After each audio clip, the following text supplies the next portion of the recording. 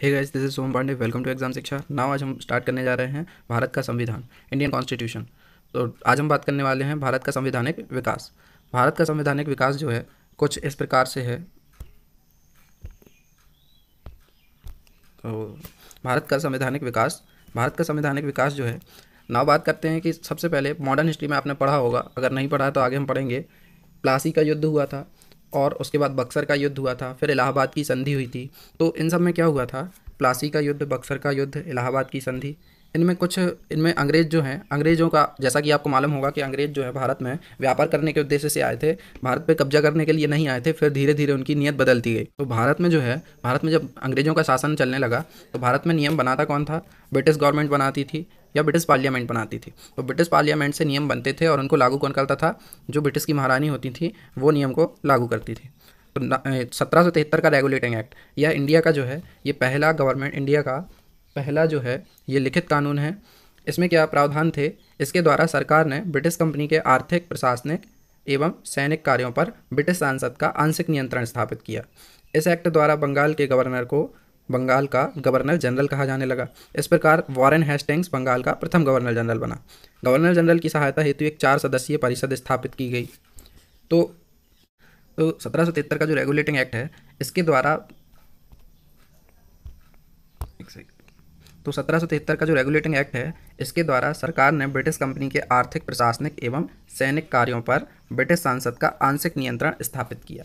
अर्थात क्या होता है कि जो गवर्नमेंट थी, गवर्नमेंट ने, ब्रिटिश गवर्नमेंट थी, ये कंपनी पर धीरे धीरे अपना जो है अधिकार जमाने लगी थी। तो इस एक्ट में क्या किया उन्होंने? थोड़ा सा जो कंपनी पे नियंत्रण करना स्टार्ट कर दिया। इस एक्ट द्वारा बंगाल के गवर्नर को बंगाल का गवर्नर जनरल कहा जाने लगा। तो बंगाल का जो गवर्नर होता था, जो कंपनी का हेड होता था, वो अब बंगाल का गवर्नर जनरल कहा जाने लगा। इस प्रकार वारन हेस्टिंग्स जो है, वो बंगाल का प्रथम गवर्नर जनरल बना। गवर्नर जनरल की सहायता हेतु एक चार सदस्यीय परिषद की स्थापना हुई। याद रखिएगा, चार सदस्यीय परिषद की स्थापना हुई यहाँ पर, और सिक्स बोर्ड ऑफ़ कंट्रोल की स्थापना होगी इसके नेक्स्ट एक्ट में। तो सत्रह सौ तिहत्तर के जो रेगुलेटिंग एक्ट है, उसके इंपॉर्टेंट फैक्ट्स हैं ये ये आपको याद करने हैं ध्यान से। ना बात करते हैं, सत्रह सौ चौरासी का पिट्स इंडिया एक्ट तो इस एक्ट को इंग्लैंड के तत्कालीन प्रधानमंत्री विलियम पिट द्वारा बनाया गया, इसलिए इसे पिट्स इंडिया एक्ट कहते हैं। ब्रिटिश सरकार क्राउन कंपनी पर नियंत्रण बढ़ाना इसका उद्देश्य था। इसके द्वारा छह सदस्यीय बोर्ड ऑफ़ कंट्रोल याद रखिएगा, चार सदस्यीय परिषद की स्थापना किसमें हुई थी? सत्रह सौ तिहत्तर के रेगुलेटिंग एक्ट में और सत्रह सौ चौरासी का पिट्स इंडिया एक्ट था जो उसमें छह सदस्यीय बोर्ड ऑफ़ कंट्रोल की स्थापना की गई थी। इस प्रकार कंपनी पर ब्रिटिश संसद ने दोहरा नियंत्रण स्थापित कर लिया।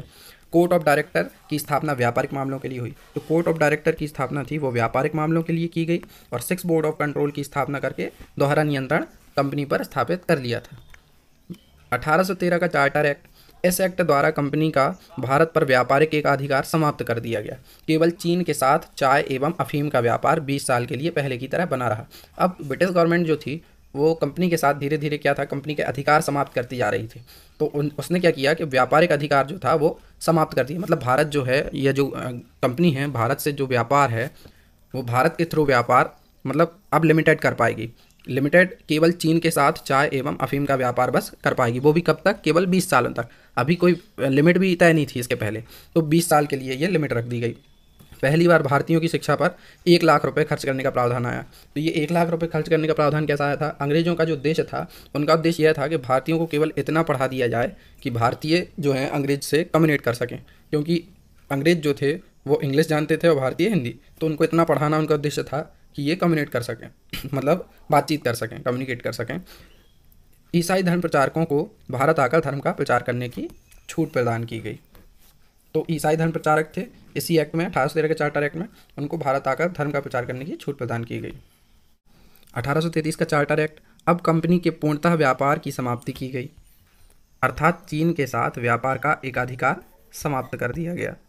चीन के साथ व्यापार का एक अधिकार समाप्त कर दिया गया। इस एक्ट द्वारा बंगाल के गवर्नर जनरल को भारत का गवर्नर जनरल कहा जाने लगा। इस प्रकार भारत का प्रथम गवर्नर जनरल कौन बना? Lord William Bentinck. ये याद रखना आपको।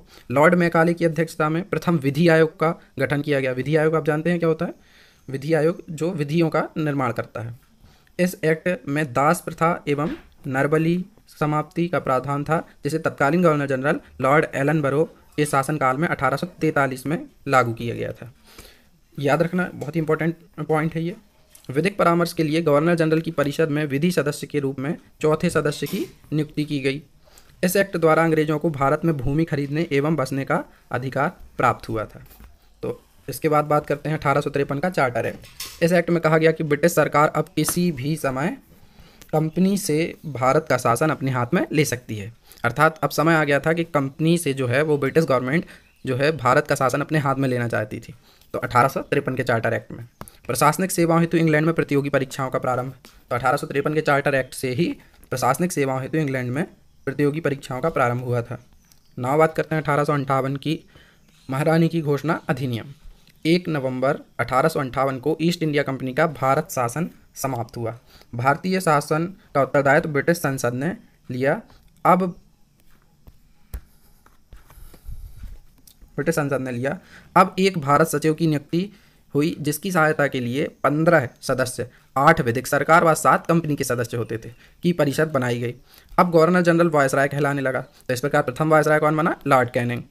इस एक्ट द्वारा कंपनी की विस्तारवादी नीति पर रोक लगा दी गई। मतलब अब कंपनी जो है और आगे नहीं बढ़ सकती। ऐसा नहीं है कि आसपास के जो प्रांत हैं वहाँ पर जाके ये इस्टेब्लिशमेंट कर सकें। तो उनकी विस्तारवादी नीति पर रोक लगा दी गई थी।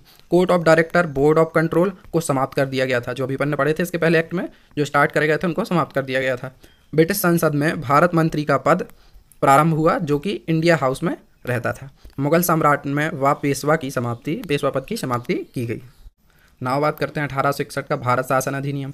इस एक्ट द्वारा भारत इस एक्ट द्वारा भारत में पहली बार विभागीय प्रणाली का आरंभ हुआ।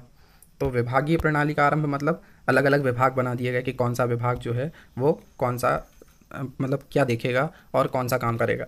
इस अधिनियम द्वारा गवर्नर जनरल को अध्यादेश जारी करने की शक्ति प्रदान की गई।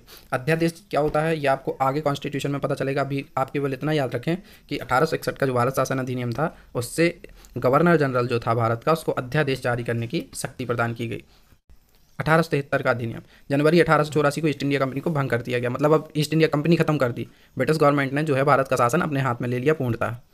अठारह का शाही उपाधि अधिनियम महारानी विक्टोरिया को भारत की सम्राज्ञी घोषित किया एवं केसर ए हिंद की उपाधि दी गई। अठारह सौ बानवे का अधिनियम अप्रत्यक्ष चुनाव की शुरुआत की गई। अप्रत्यक्ष चुनाव शुरुआत किए गए। ये छोटे छोटे अधिनियम हैं, इनमें केवल एक ही पॉइंट इंपॉर्टेंट है तो केवल सीधा मैंने स्लाइड में एक ही पॉइंट बस लिखा। आपको केवल यही बस याद रखना है। बात करते हैं उन्नीस सौ नौ का भारत शासन अधिनियम यह अधिनियम मार्लियामेंटो सुधार के नाम से भी जाना जाता है।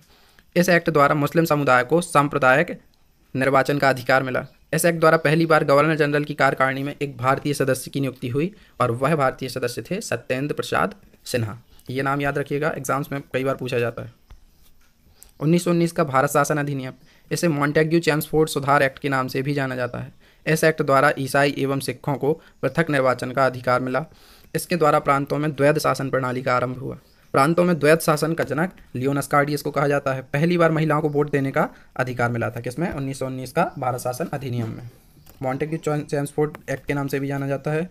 याद रखिएगा। और सिखों को प्रथम सॉरी, पृथक निर्वाचन का अधिकार मिला था इसी से। और द्वैध शासन प्रणाली का आरंभ हुआ था। ये आगे जाके खत्म हो जाएगी।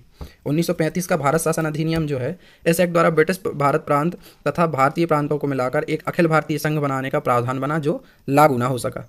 इसके द्वारा प्रांतों में द्वैध शासन समाप्त कर दिया गया और उत्तरदायी शासन की स्थापना की गई। इस एक्ट द्वारा केंद्र में द्वैध शासन प्रारंभ हो गया। अभी कहाँ था? जो प्रांतों में था और अब क्या हो गया? 1935 के अधिनियम में केंद्र में द्वैत शासन प्रारंभ हो गया। इस एक्ट में न्याय संघीय न्यायालय की स्थापना का प्रावधान था। इस एक्ट में संघ लोक सेवा एवं रिज़र्व बैंक की स्थापना का प्रावधान था। भारत को वर्मा से अलग कर दिया गया। भारत परिषद का अंत कर दिया गया। ब्रिटिश सांसद की सर्वोच्चता कर दी गई। ना इसके बाद आता है क्रिप्स मिशन 1942 अध्यक्ष थे इसके sir Stafford Cripps. Gandhi ji ने इस मिशन के प्रावधान को पोस्ट डेटेड चेक की संज्ञा दी, अर्थात दिवालिया हुए बैंक का चेक। तो ये इंपॉर्टेंट है एग्ज़ाम्स में कई बार पूछा गया, आगे भी पूछा जाएगा। याद रखना। आपको कैबिनेट मिशन मार्च 1946 1945 का युद्ध समाप्त हो चुका था। इसके तीन सदस्य थे, स्टेफोर्ड क्रिप्स, पिथिक लॉरेंस एवं ए वी अलेक्जेंडर। इस मिशन ने संविधान की सभा के गठन की सिफारिश की। इसके बाद आता है भारतीय स्वतंत्रता अधिनियम। यह एक्ट चार जुलाई उन्नीस सौ सैंतालीस को ब्रिटिश संसद में पेश हुआ। ये डेट्स याद रखना आपको। 18 जुलाई उन्नीस सौ सैंतालीस को ब्रिटिश संसद में पारित हुआ और 15 जुलाई सॉरी 15 अगस्त उन्नीस सौ सैंतालीस को भारत स्वतंत्र हो गया। इस एक्ट पर हस्ताक्षर करने वाले ब्रिटिश जो थे वो जॉर्ज सिक्स जॉर्ज सिक्स थे। जो ब्रिटिश सम्राट थे वो जॉर्ज सिक्स थे। ना आज के लिए बस इतना ही। आगे डिस्कस करेंगे इस पूरी संविधान की सीरीज़ में। Thanks for listening. If you have any doubt, please ask me on comment section. And keep support, subscribe, like and share. This is the end of the video. As always, God bless you all. Jai Hind, Jai Bharat.